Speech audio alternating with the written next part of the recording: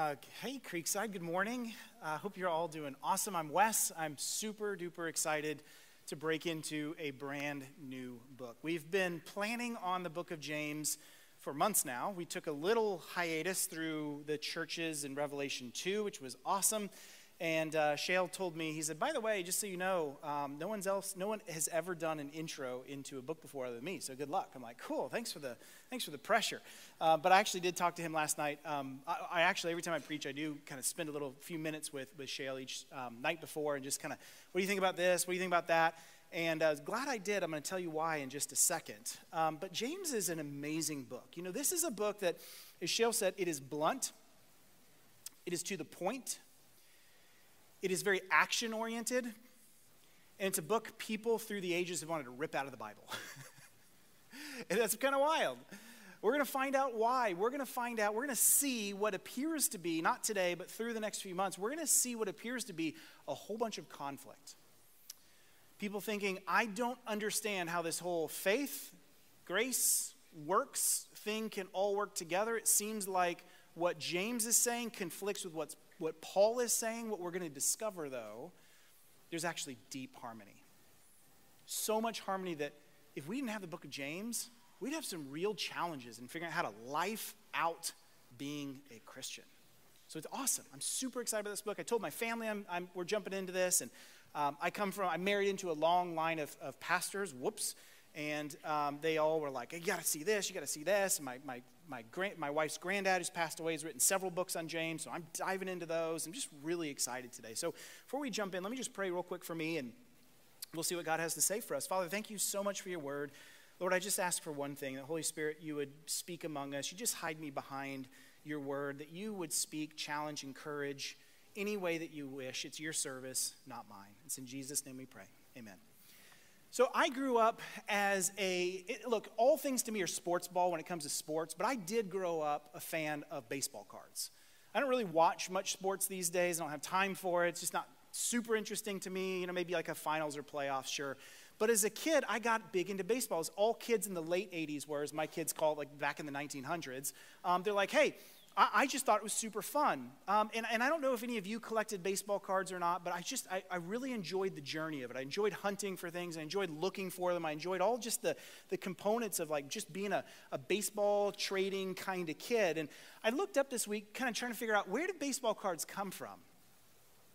Wouldn't you know it? They, they were developed in about 19, I'm sorry, 18, this is a big difference, 1850. So just to put it in perspective, about one to two years before the Civil War. That's how old baseball cards are. The reason they became popular is two things happened in America simultaneously the introduction of photography and its access to all people, and baseball became a professional sport. It became something that everyone loved and everyone started to follow. And You'd listen on the radio. So, no doubt, the two collide together and we start taking pictures of baseball players. We print them on little small cards that can fit in your wallet. And now we have this whole trading world come to life called baseball cards. It really is what kicked off the whole thing. And baseball cards are pretty neat, right? I mean, as I mentioned, I, I was big into them. I think the reason I was big into baseball cards was I remember talking to my dad. And my dad would say, Man, Wes, when I was growing up in Kansas City, I had a Babe Ruth card, I had a Mickey Mantle card, I had Jackie Robinson, I had all these, and I'm like, whoa, that's incredible. I didn't actually know who those people were, but I was like, it's got to be cool, right? Come to find out, trust me, they're really famous people. And he said, you know, when we moved from Kansas City to Ocala, he said we were super poor. All we could afford is what we could fit in the car. And so I had to get rid of all my baseball cards. I had room for my backpack of my clothes, and that's it. So he said I threw them away. I'm like, wow. He's like, yeah, it's kind of crazy. I definitely had some money in all those. And I'm like, that's, I can't believe. So I remember growing up in the 80s being like, that's going to be me. I'm going to go and get some baseball cards, and they're going to be worth a lot of money one day. I'm going to hand them to my kids. And sure enough, what I didn't understand is every kid in the 80s was doing this. And so there's bajillions of 1980s baseball cards that are pretty much worthless, right? So I, I, this is kind of how life went for me. And I remember as a kid getting on my bicycle, driving up the hill in Michigan to the drugstore walking in, looking at the shelf of baseball cards, and picking, like, I got 25 cents. What am I going to buy? Am I going to buy, like, the Topps or the, the, the upper deck or one of the other the cards? And so I'd always be Topps. I'd grab it. And here's the reason I always got Topps. When you open up, does anyone remember what was inside? A little stick of gum, yeah. So the nasty's like been there for years, and you peel it out, and it's like super stale. I'm like, I don't care. It's gum. I'm a kid. It's awesome, right? It's the only way I can afford gum. And so I remember opening them up and looking through, and my, my all I knew was like who got the most home runs. Like I, I didn't really understand. It's still all I know about baseball. And so I just remember just loving that era. But wouldn't you know it, 1952 was about the hallmark era of baseball cards. It was a time in which baseball cards had been produced for about 100 years, but there was just a time where it just became really, really popular. And there was a man named Mickey Mantle who was a very famous baseball player. And if you were a kid, you knew who Mickey Mantle was. You always wanted to have one of those cards. I never had one of those cards, never was going to get one of those cards, and still am not going to have one of those cards. But I remember this. And I remember um, when I, uh, every time I'd open a pack of cards, I knew I wasn't going to get Mickey Mantle, but I'd get somebody, maybe Jose Canseco or somebody like that. I was like really excited. And we, we would always do is we would open, I got a picture here of this magazine called Beckett. And anyone ever seen Beckett before? You can open that up and it can tell you what your cards are worth. You can kind of see what's the actual value. And as I was talking to Shale about this last night, wouldn't you know it, he brought his own 1989 copy of Beckett. So you were looking at a pristine as only Shale can have, absolutely flawless, perfect mint condition Beckett 1989 uh, magazine. You can actually open this up and you can see all the values of cards. And so you know what I did in this thing was we flipped right over, Shale and I early this morning, and we went and looked. I'm going to show this to you because it's right here. This, I know you can't see it, but this is Mickey Mantle's 1952 card. You know how much it's worth in 1989? $7,000. So that was like the holy grail. If you could find a 1952 Mickey Mantle baseball card, you're set, right? They're just super, super rare, even in those days. There's the card itself. And you know what's pretty interesting about that card is definitely it's old, definitely it's, you know, it's, it's in great shape, all this kind of stuff. But I look at this one, and this is not just an average Mickey Mantle card. This is a Mickey Mantle card that sold last year for $12.5 million. Now, how on earth could it go, just a piece of cardboard, go for millions of dollars? Well, remember, in, the, in, in 1952, baseball cards were not as popular as they were when I was a kid. There were not a lot of those produced. And when he started playing, his, the beginning of his season was not very good. So no one really cared about his cards. Then he takes off later. At that area, I don't remember how you remember this that, are, that may be a, a, bit older than I am, but you probably had baseball cards and you just stuck them in the back of your bike and it, as you rolled, go. That's like your only use for baseball cards. It's like, whoops, I wish I would have remembered that in the 50s. So that's why this card became so valuable. It's extremely rare, and Mickey Mantle just soared off into just being one of the most famous baseball players to have ever lived. Now, here's the thing I can't just take any baseball card with Mickey Mantle on it and get $12.5 million. You see that 9.5 that's up there? In order for this card to sell last year for that much money, they had to take it in and take it to a company that grades cards. Okay? This is, there's only two companies that do card grading. And what they do is they look at it, look at the edges and sharp and all these like the foil and all these different things I don't understand. And they come back with a rating. 9.5 is as high as you can get.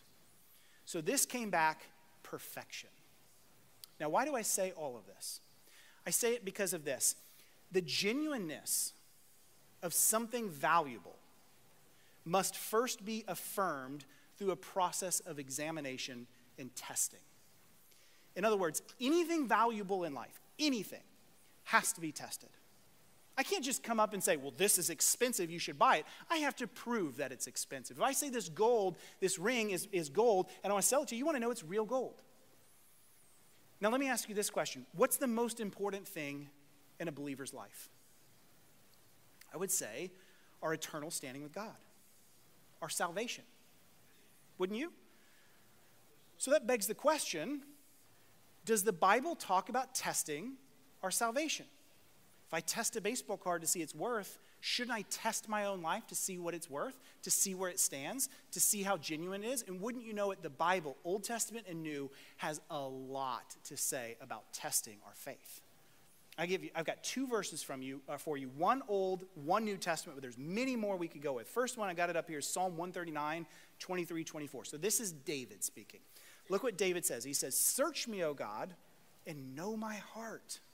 Try me and know my thoughts. Let's time out on that for just a second. So here is King David praying a very dangerous prayer. He's saying, God, test me, examine me. This idea of David saying to God, I know there's some probably some dark areas in my heart that are not quite right. And I am welcoming you to come in and shine light. Every Christian needs to pray that prayer. I need to pray that prayer. And that is a dangerous prayer because God will answer it and God will shine light into some areas you may not have known or have wanted Him to shine light into. But look what He goes on to say See if there be any grievous way in me and lead me in the way everlasting. I love that David does not just walk in and say, Hey, God, lead me everlasting. Let's go, buddy. I'm on it. Let's, let's, let's go. He knows in order to go on the way everlasting, he has to go through a journey first of God exposing these areas in his heart. And if you know anything about David, you know he was not quite a perfect man. He was guilty of murder, he was guilty of adultery. He also did some, he broke the law. He was challenged. And here's the thing that I love about David he was open to coming to God saying, Yes, I messed up bad. Putting his hands up in surrender and saying, Expose me. It is true. I am guilty and I'm repenting and coming after you. See, the measure of David was not the perfection of the life he lived, but his willingness to repent in humility before God. And that's why when God looked at David, he said, That's a man after my own heart. That's how God can look at a murderer and an adulterer and say, That's a man after my own heart. I think we can learn a lot from that. What does the New Testament say? Look what Paul says in 2 Corinthians 13 5. He says, Examine yourselves to see whether you are in the faith test yourselves. So, literally, give me an examination. Paul says that it's important for me to test myself to see where I stack up. He says this, or do you not realize this about yourselves, that Jesus Christ is in you, with the caveat, unless indeed you fail to meet the test? That's a weighty, if I may say, scary passage. Because I think we all have a little bit of a fear and trepidation of what happens if I take the test and I fail? Add to that, how many times do we doubt? I doubt. I've doubted my salvation. I do doubt my salvation. Oftentimes I wonder, where do I actually stand? And then you come to this, and Paul says, I'm glad you doubt. Let's test yourself. That's a scary thing. But you know what's worse? Is not testing yourself, of just assuming that we're good. Just, I'm good to go. I don't need to worry about it. It's so good to test yourself. And that's what the Bible talks about over and over. If salvation is truly valuable, then we should test it and we should test it often. And here's the awesome thing that I want you to take encouragement from nobody in the Bible talks more about testing yourself than Jesus. He's the only person that never needed to test himself. And yet, all he does is he talks often about testing yourself. What do I mean by that? If you go and look, we're not, we don't have time for this today. In fact, we're going to mention several verses today. You're just going to have to circle and go back to. Jesus entered into his ministry. He was primarily dealing with two groups of people. One, just your average, everyday person. Someone that was looking for the Messiah, looking for change, looking for freedom from Rome, looking for a new prophet to come on the scene, but had no idea who Jesus was and what his actual ministry was going to look like. Then you have the other group of people, the religious leaders of the day. They looked awesome. They followed all the rules. Everyone looked up to them. Everyone's like, man, these people have it made, and they've got years of training, and on and on and on. And Jesus walks up to them and says, You guys are like whitewashed tombs. You guys are like dead inside, is what he would say. So Jesus enters into his ministry with these two people groups in mind, and what does he do? He preaches the most powerful sermon ever preached. It's called the Sermon on the Mount.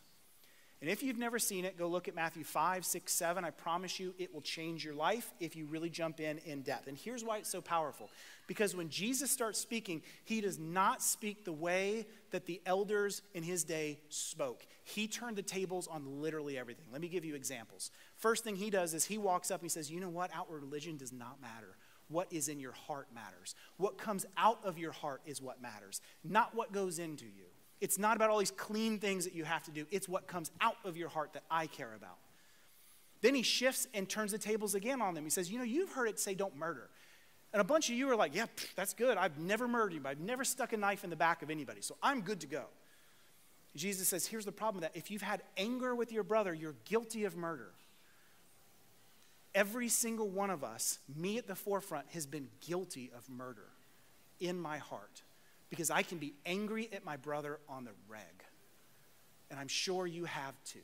So now Jesus levels the playing field that there is no one that's going to get out of this because Jesus attacks our hearts. He says, You got an anger problem in your heart, you're guilty of murder. And then he does the same thing with lust. He says, If you've looked at a woman with lust in your heart, you're guilty of adultery. He's flipping the tables. Every one of us now stands before the throne of God saying, Guilty.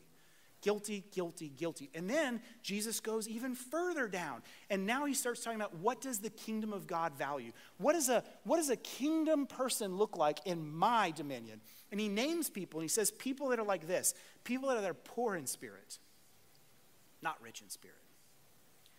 People that are mourning and sad, not all everything put together.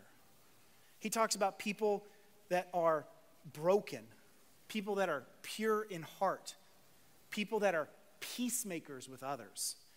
That's who he says is in my kingdom.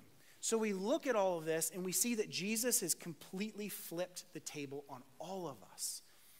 And just like the Mickey Mantle card, if I'm going to grade myself and send it in, it's going to come back with a zero. Because I don't have it within myself to meet those standards. I don't have the ability to manufacture what Jesus commands for me in his new kingdom.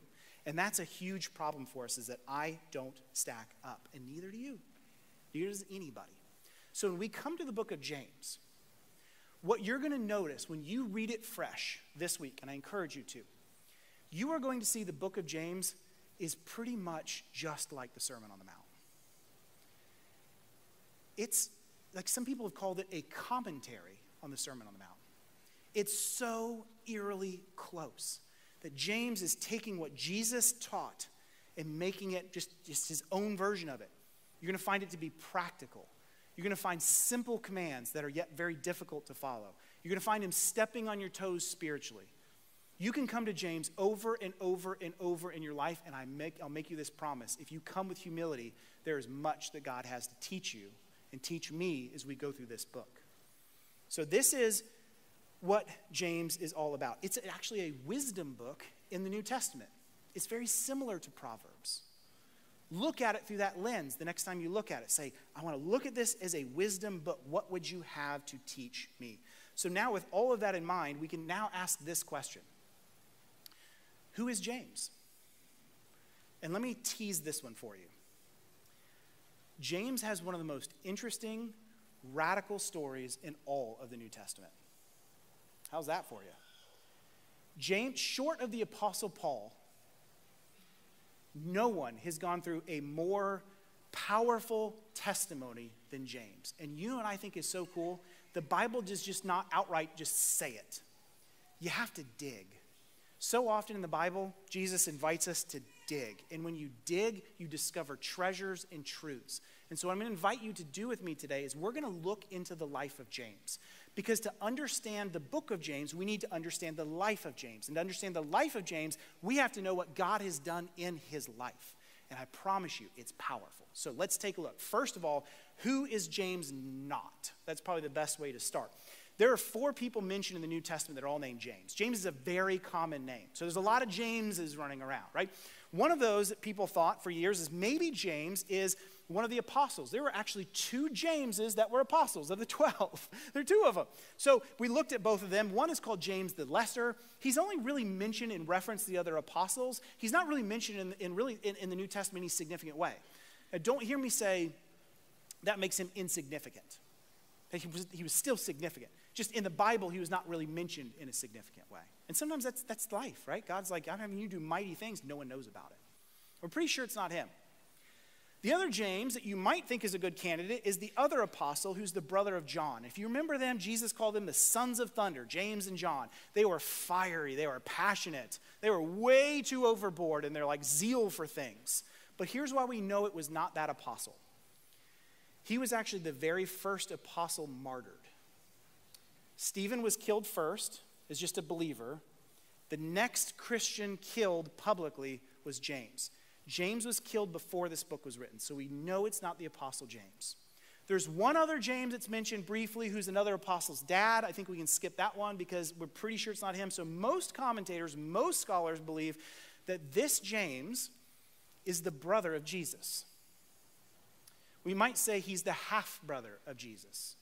Because Mary was betrothed to Joseph, and we know the Christmas story. She was a virgin. She conceived with Jesus. Jesus was born. So Joseph was not really Jesus's earthly dad. I guess you could say a figurehead, right? But, but God was his dad, God the Father. But wouldn't you know it, Jesus has a lot of brothers and sisters. And I don't know about you, I don't think about this enough.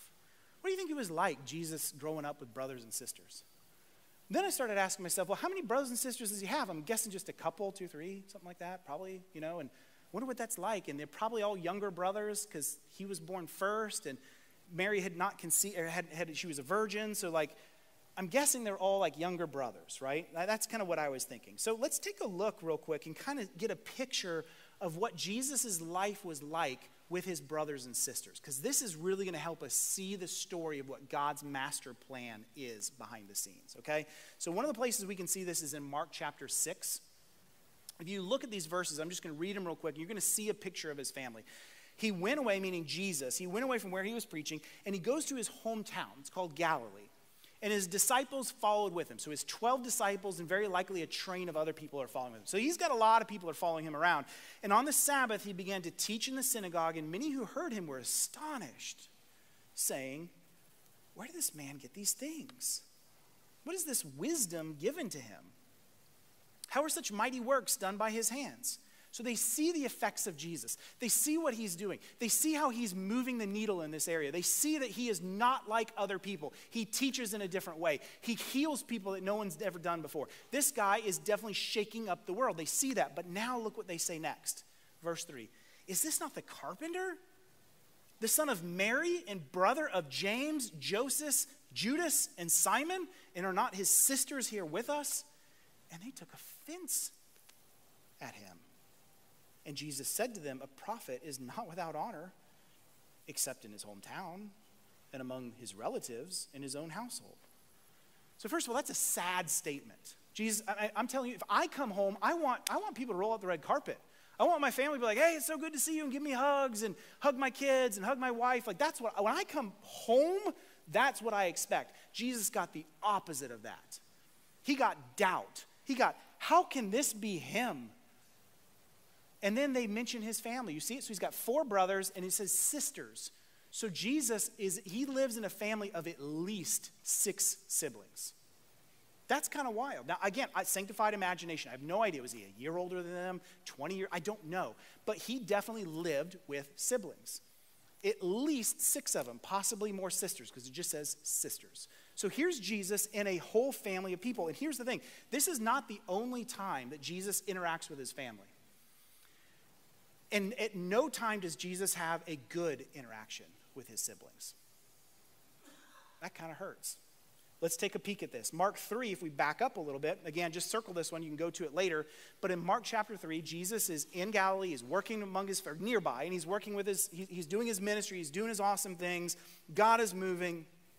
Verse 20, and Jesus is out teaching, and his family literally comes in, verse 20 says, to seize him to grab him, to pull him out of there. They're looking at this like, what is this crazy guy doing? Trying to get him out of his ministry, get him out of what he's doing. I have no idea why. Is it because they're worried that he's upsetting the apple cart and making a whole bunch of religious leaders mad? They think they might be implicated? Maybe. Very likely. Is it because he's worried or they're worried? It, just like they've never seen Jesus do miracles like heavily like this before for the first 30 of his, years of his life. He's relatively quiet. They just don't get it. Maybe. We don't know, but we do know they were trying to get him out of there. You go fast forward a few verses into verse 31 of Mark 3. The siblings come over and they're waiting outside. People come up like, yo, Jesus, your family's right over here, and they're ready to get you. And Jesus is like, what are you talking about? You guys are my family, not them. So Jesus is already helping us understand, like, what is the family of God? You look at John chapter 7, another one to circle. Jesus is interacting with his brothers. They're in Galilee, and his brothers come up to him and they say, Hey, Jesus, the, the, the, the Feast of Booths is coming up. Why don't you get out of here and go? You're not really welcome here. We would rather you go to Jerusalem and get out because we're just not comfortable with you in Galilee. We don't really want you around. That's sad. Now, I, I don't know what that's like, but I sure will tell you this I know what it's like to try to test out your faith. I remember I became a believer at 16. And let me tell you, it was awkward to start living out my faith in front of my family, right? Because they've seen all my weaknesses, they've seen my hypocrisy. Let me tell you this it's hard to live out my faith with my family right now because they see my hypocrisy. They see the errors of my ways, they see my sinfulness. So I just want you to know sometimes the blocker that we have in serving God is our own embarrassment and our own feeling of being a hypocrite. And let me just tell you this you are a hypocrite. I am a hypocrite. If we're letting our fear of our family hold us from serving, just know Jesus went through that too. And Jesus is calling you. If you feel like you have got a calling, Michelle's up here and he's talking about, hey, we need more people to serve. That's your calling. That's what God is asking you to do. Don't let your family get in the way of that. Don't let other things get in the way. Just start serving Him.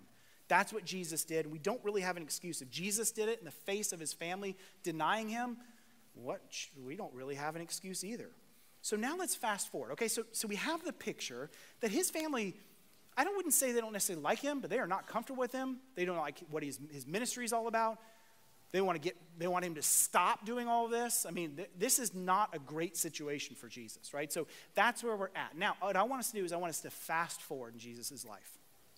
Fast forward just a few months, and now we see Jesus being executed. He's dying the, the, the criminal's death. If you want a good example of this, we, we venerate, you know, a cross as I think we should but back in those days, was the equivalent of an electric chair. So here's Jesus at the spiritual electric chair. And what does it say when he's at the cross? Mary, his mother, is with him, as only a mother would do. A loving, caring mother. For sure she's there. There is no mention of his brothers and sisters. Pretty sure they were not there. And can you blame them? I mean, this whole time they don't like what he's doing. They want nothing to do with him. They're denying him.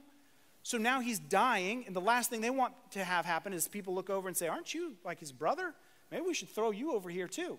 So they're probably super fearful of it. So they are nowhere around. So here is Jesus dying without even his family, short of his mother. Now, I don't want us to paint an overly strong picture of this. The real pain that Jesus went through is the denial of his father when sin was laid upon him. But it sure doesn't help to have your brothers and sisters not around either, right? So this is Jesus. And this is James. Nothing to do with Jesus. And here Jesus dies a sinner's death, buried. James is nowhere to be seen. So, why do I say all of this? Because we're going to see James show up. And it's going to bring up this question What in the world happened in James's life to make his life get radically changed? So, let's take a peek at it. Paul actually gives us a hint, actually gives us the answer. If you go over and look at 1 Corinthians 15, verses 3 through 7, I'm going to read this, and you're going to see something interesting show up. Paul says, For I delivered to you as of first importance what I also received that Christ died for our sins in accordance with the Scriptures, that he was buried, that he was raised on the third day in accordance with the Scriptures, that he appeared to Cephas, meaning Peter, then to the twelve. Then he appeared to more than 500 brothers at one time, most of whom are still alive, though so, some have fallen asleep. Now, watch this right here. Then he appeared to James, and then to all the apostles. Wow. There's our answer. James the denier. James who wants nothing to do with his brother. What does Jesus do? He takes action instead. After Jesus died, after Jesus was buried, after Jesus rises again, he then goes to his brother. See, James has a personal encounter with the resurrected Jesus. And I just wonder what that was like for James. Don't you? Like, we, we, it doesn't tell us. Did James just show up for five minutes? He's like, hey, you messed that one up, Buster. Why don't you start following me? I don't know. Did he, did he show up for hours? Did he show up for days? I tend to think that way. If you would let me use my imagination a little bit, here's what I think happens Jesus shows up on the scene. Peter's trying to figure this out. Peter realizes everything he thought about his brother was completely wrong. Peter's probably terrified to see the resurrected half brother in front of him. And what does Jesus do? He loves him. He runs up, he gives him a hug. They start weeping. Everything is reconciled. And I imagine that Jesus sits down with him and says, Can we just re explain life here? Can I tell you everything that I'm about? all the things you didn't understand, can I explain to you? That's what I imagine happened. James has a real encounter with the resurrected Jesus, and it changes his life. He goes from a denier to someone that starts to follow him. And I want you to see this pattern of James having nothing to do with Jesus, and now Jesus has stepped into his life. See, Jesus said over and over, I have come to seek and save the lost. I've not come for the healthy, I've come for the sick. He says, I'll leave the 99 sheep and go after the one. Jesus even does it with his own family. That's powerful. He could have absolutely have said, James, you're dead to me, buddy. Brothers, dead to me. Sisters, dead to me. You had every chance in life and you denied me. Done. Written that family off. And that is not what he does. Jesus pursues his own brothers, pursues his sisters, walks into their life and completely changes them. In fact, so much so, did you know two books of the Bible in the New Testament are written by Jesus' brothers? James and Jude. See, Jude is one of his brothers. And Jude was another. So, so you have two authors of the Bible that were literally his brothers. I just think that's powerful. And so, what's the message for us in all of this? Literally, nobody is too far for Jesus to step into and save their life. You may say, Look, I've, I have nothing to do with Jesus. No, I can't believe I'm even sitting in here today. I'm so far apart. I am too far gone. You are not if Jesus will come in and he will radically change his own brother who denied him and left him to die alone and come intently to change his life, he can change your life too. And he will change your life. There is nobody so far away that is beyond the means and the measures and the grace of God. Nobody. The question is do you believe that for yourself? The question is will you say, I can trust in that and I will lean into Jesus? I feel like everything inside of me is saying, absolutely not, but God, I'm going to trust you. That's the question that you have to ask for yourself. So then the next question is we look at James, what happens to him? He has this encounter with Jesus. What happens? Well, I'll tell you what happens. Some pretty amazing things happen. If you go look in Acts, and I'm actually going to take a peek at this, we see James show up. It's not just that Jesus appeared into James's life, something happens with James. So, at the very beginning of Acts, if you read the first few verses, Jesus, after he is risen from the dead, he spends 40 days with his disciples. So it says that he's appearing to them and he's teaching them, and he's like, they're all of a sudden, the, the heavens have opened. They fully understand what Jesus was all about. 40 days before he, he, he's risen. 40 days. Now, what happens later? Look with me in verse 12 of Acts 1. Then they, meaning all of the disciples and everyone's with them, they returned to Jerusalem from the mount called Olivet, which is near Jerusalem, a Sabbath day's journey away.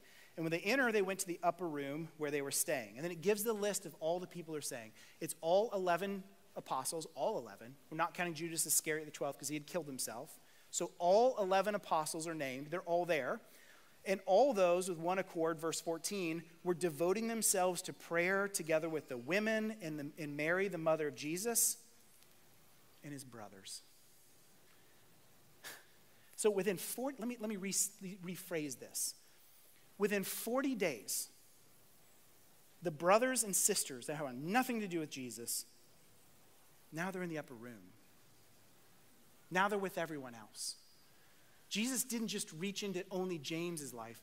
Jesus reached into his family's life. He transformed his own family's life. That's a powerful statement. Jesus can transform your family's life as well. You may be sitting here today being like, there's no chance for my family. What they've done to me is inexcusable, and that is true. That may be true. But that doesn't mean that Jesus can't transform them. Jesus is in the habit, Jesus is able to, and he loves to transform families for his good. So now here is James who is now in the upper room. He's with Jesus when all this happens, and his life is completely changed. Let's fast forward even a little bit more. Go circle later, Acts chapter 15. 15 years from now, roughly. Something like that, maybe 20. Now we see James pictured again. This time he is what I would call the pastor of the church in Jerusalem, the very first church ever. And, and Paul is coming back from a missionary journey. And God is doing all of this powerful work in the, in the lives of foreigners. We call them, we call them Gentiles, people that are not Jewish people, have not lived the Jewish life and they see all these people starting to say, We're following Jesus, we're giving our life for Jesus. Paul comes back and they're trying to rectify this. How do we make this work? Are you kidding me? Are you telling me that Jesus is changing the lives of non Jewish people too? And all of a sudden it, it, enlightens them that Jesus is for all tribes, all tongues, all people, all nation, nationalities, all colors. Jesus has wide open arms for the nations. And they come in, and Paul, for the first time, is trying to rectify this. So they bring this back to the church council in Jerusalem.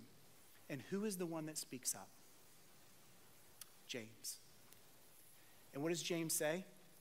It is right that we welcome these people in. James's arms are as wide as Jesus's because he sees what Jesus is doing. He sees how their lives have been changed. He's like, Come on in, baby. We got room for you too. That's the life of James. That's how much God has changed him. He turns out to be not just the leader of the church in Jerusalem, not just the first pastor ever. He turns out to be this guy that is wise, that is loving, that is open, that is caring, he tends to be blunt. He tends to be short with his words, not flowery like Paul, but he is absolutely a pastor through and through. He never leaves Jerusalem, at least not for any long period of time. He's not an apostle going out and preaching to the lost nations. He's staying in Jerusalem, being a pastor among his people. That's the kind of guy he is. So now we can finally go into the first verse, and we'll be very quick with it. James chapter 1, verse 1. James, a servant of God of the Lord Jesus Christ to the 12 tribes in the dispersion greetings. So we close with this. Here comes James walking into the scenes, and what does he say? James, a servant of God, not and the Lord Jesus Christ, not brother. See, if I'm writing this, I'd be like, hey, you know, you know who I am? I'm James. You know who my brother is? Jesus? Y'all better be listening to me now, all right? That's what I would be saying. He doesn't do that. He takes the humble route. He's just like, I'm just a servant of him. That's all I am, just a servant. And then later in James, he keeps calling everyone else that he's writing to his brothers. Is this idea of saying, if I really am his brother, I don't even need to say it, but y'all are my brothers, which makes you brothers to Jesus. And that's the humility that just shines through James. That's the kind of guy he is.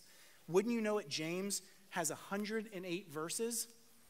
54 of them are commands. 50, or sorry, 50, 59 are commands. Meaning 54% of every part of James is a command for us to follow a thing for us to do, a way to think. James is rife with how do we live in Jesus' kingdom. And wouldn't you also know it? James was the very first book ever written in the New Testament. It came out before the Gospels, it came out before Paul's epistles. So here's James, the pastor of the first church, thinking, how do I give guidance to people to live a life in, in God's kingdom? That's the book of James. It's a book of wisdom literature. That's why it is, is, exists the way it is. And so when you read James this week, that's what I want you to do. Look at it through that lens. Jesus, what would you teach me? If I moved to a new country, wouldn't it make sense that I want to know the laws? I want to know the culture. I want to know the people so that I don't get on the wrong side of that. That's what Jesus is saying. You're now in my kingdom. You need to learn my culture and my rules and the way we all live. That's what James is all about for us. And so I want to I want to kind of close with this. One thing you will see in James, you will see that James gives us these commands. And they, James can give us these commands because Jesus has lived these commands. If you think about a rope for a minute, I can put a rope out, and it's absolutely worthless if I try to push it. It just goes limp every time. If I take a rope and I pull that rope, I can move a boat. That's the idea. Jesus is saying, I have walked through this life. In the next few verses we're going to unpack next week, this idea of count it joy when you go through sufferings and trials, Jesus is saying, I've gone through sufferings and trials. I have died for you.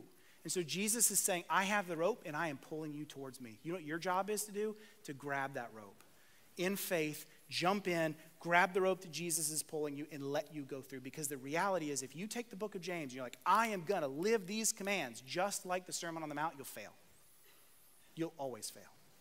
If you look at James like, Jesus, how did you go through this? Jesus, how did you do this?